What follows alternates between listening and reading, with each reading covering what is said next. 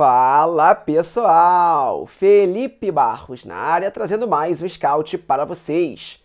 E hoje é dia de analisar centroavante que foi anunciado oficialmente como novo reforço do Paysandu.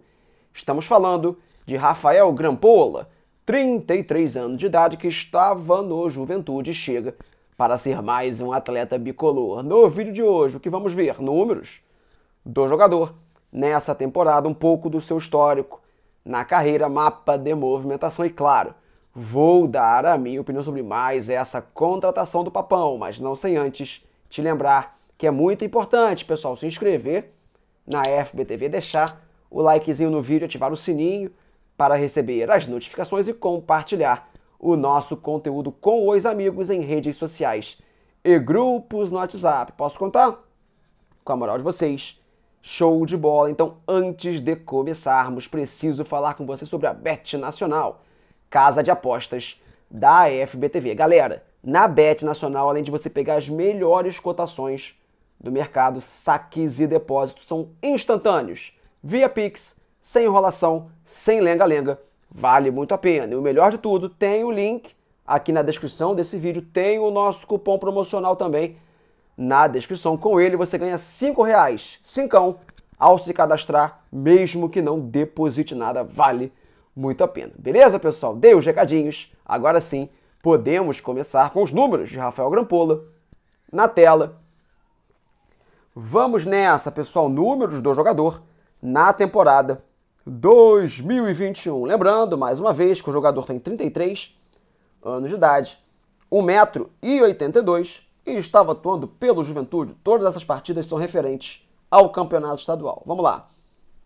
Oito partidas, duas somente como titular, nenhum gol marcado, nenhuma assistência, nenhum passe para finalização, apenas três arremates com 33% de acerto no gol, ou seja, um dos três chutes acertou o alvo adversário, ganhou 67% das disputas de bola por cima, aqui dá para dizer que ele foi bem, é centroavante, claro que a gente sempre cobra um bom rendimento nas bolas por cima, mas ele não é muito alto, né? 1,82m, então conseguiu sim ir muito bem no posicionamento e impulsão para ganhar as bolas por cima.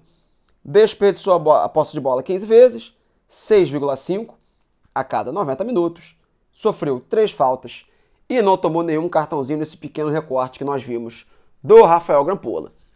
Bem, galera, vendo? Esse quadrinho fica bem claro que o início de temporada 2021 do Rafael não foi positivo. Tanto que ele estava no plantel de Série A do Brasileirão, que é o do Juventude, não entrou em campo nenhuma vez no Brasileirão, está sendo repassado sem muitos problemas, sem muita enrolação, sem muita novela para o Paysandu. Evidentemente, também que ele não teve muitos minutos dentro de campo para a gente fazer uma grande avaliação. Né? Apenas oito partidas e só foi titular em duas delas. Então é muito difícil a gente cobrar um centroavante com pouquíssima sequência de jogo, muitos gols, muitas finalizações, grande contribuição né, ofensiva para a sua equipe não conseguiu ter ritmo de jogo para a gente sair de cima do muro, né, para resumir a ópera desse 2021. Não começou bem a temporada, chega sem confiança e sem ritmo de jogo ao papão, beleza? A nível de posicionamento, acho que todo mundo já imagina mais ou menos como se comporta dentro de campo o Grampola, mas chamo na tela para a gente ter a resposta com o mapa de movimentação, o mapa de calor como é popularmente conhecido no meio, do jogador em 2020, tá pessoal? Peguei um recorte onde ele entrou em campo mais vezes, para a gente poder ter uma noção melhor da sua movimentação, sua faixa de atuação dentro de campo. E fica bem claro que é um centroavante, né, galera, de origem, de referência mesmo. Tá com aquela região central ali próxima do círculo central, próxima à zona central de definição, ali na área, bem ocupada, bem escurecida, né, que é onde o jogador pega mais vezes. Na bola, nada de cair para os lados do campo, jogadas de velocidade, jogadas de fundo, nada disso. Vai ficar ali na região central brigando com os zagueiros na bola por cima, esperando uma chance para fazer o gol, fazendo as jogadas de pivô. Vai ficar na zona central ofensiva para o Papão, beleza?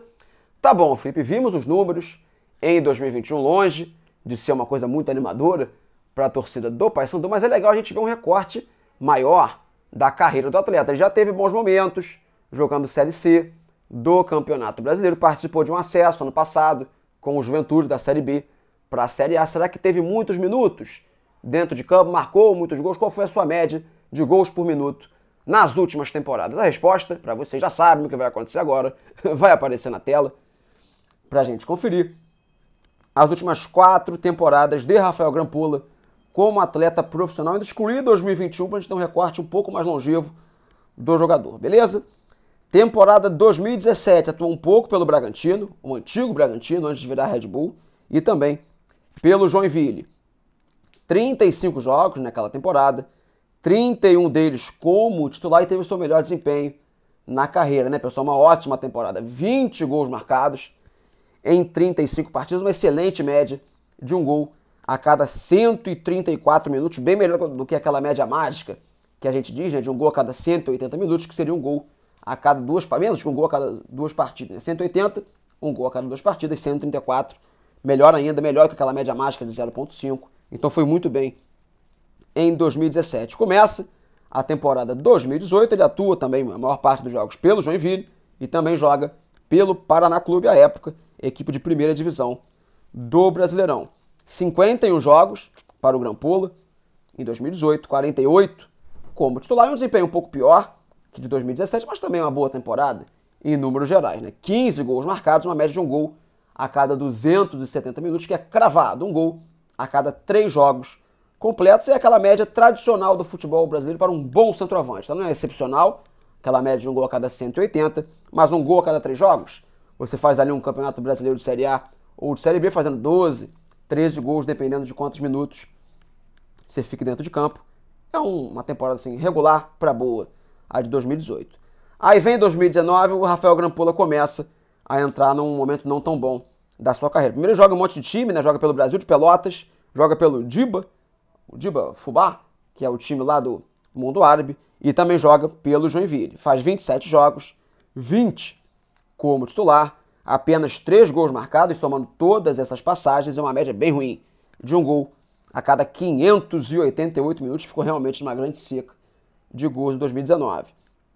Vem a temporada passada, quando ele chega ao Juventude, faz parte da campanha do acesso da Série B para a Série A. Joga muito pouco, né? 15 jogos somente, 12 como titular e até tem uma média razoável de gols. Fez 4 gols apenas, mas como não esteve tanto dentro de campo, até tem uma média legal na minutagem. Um gol a cada 254 minutos, levou menos que 3 partidas completas para balançar a gente numa média de minutos dentro de campo. Não foi um bom ano, porque ele jogou muito pouco, mas quando esteve em campo não foi assim um grande desastre o Rafael Grampola em 2020, beleza?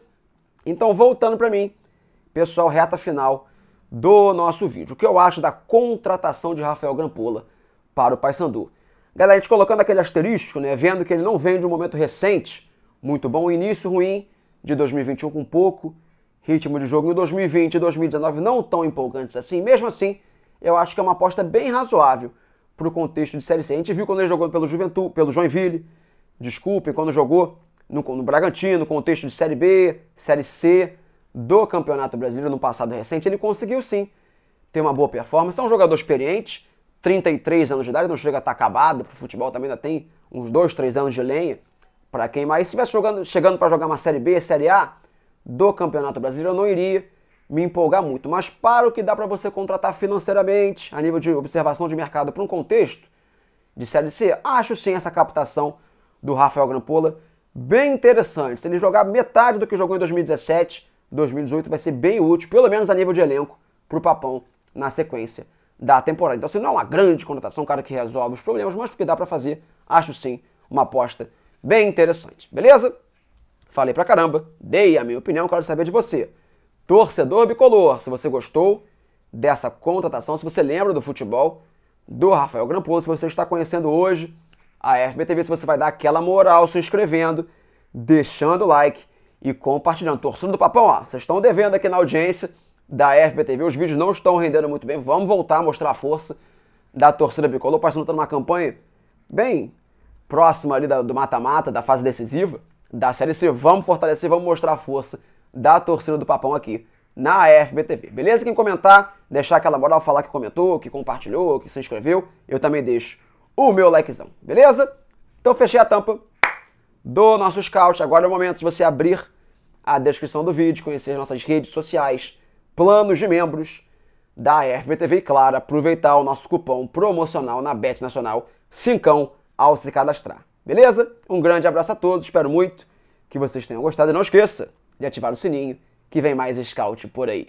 Valeu!